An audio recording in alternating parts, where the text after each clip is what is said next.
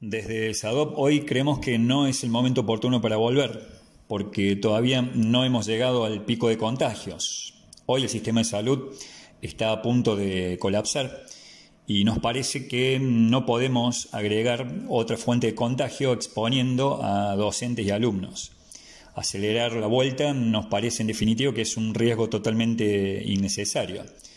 Estamos sabiendo además que no todas las escuelas hoy están preparadas ni edilicia ni sanitariamente y tampoco nos consultaron, a decir verdad, para el diseño de los protocolos situados.